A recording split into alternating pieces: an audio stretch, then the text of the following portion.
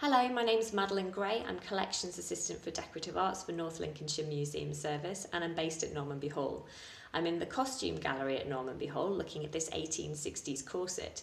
Now if you were a Victorian lady, no matter whether you were upper class or lower class, you would always be seen with your corset. You'd be deemed to have loose morals if you were corsetless, just the same as it was improper to show your ankles.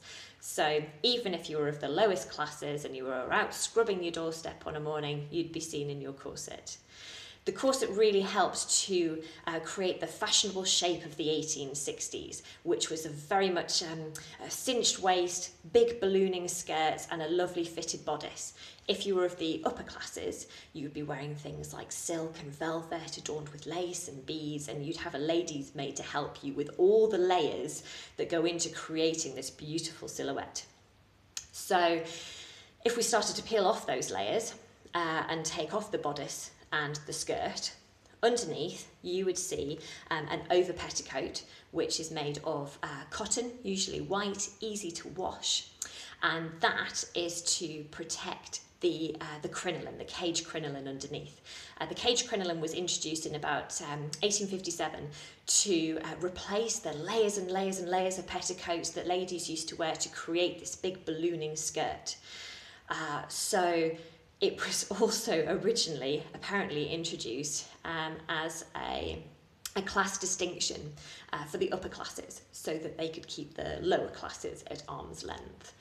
Um, they were really popular, however, and the fashion ended up spreading to the lower classes as well. Everybody was wearing these, even girls in factories had these massive skirts.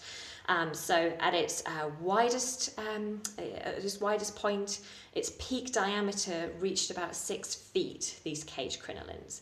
Um, so you'd have your, your over petticoat, your cage crinoline, and then underneath that would be your under petticoat. So it's like a crinoline sandwich. And then on the top, once you've taken your, your outer bodice off, you would see a, a camisole which is to protect the, uh, the outer layers from the corset underneath. So take the camisole off and there's your corset, which is what we can see here. And then underneath the corset to protect the corset from sweat because they were harder to, to wash than all of these lovely white undergarments that would laundered, get laundered about, about once a fortnight. Um, then underneath there you would find your chemise. So this was like um, a, a, a cotton dress um, that would go down to your knees and then underneath all of this would be your drawers, uh, your pants basically. Lovely big bloomers reaching to your knees, usually crotchless because let's face it, once you've got all of those layers on, you don't really want to be faffing about going to the loo.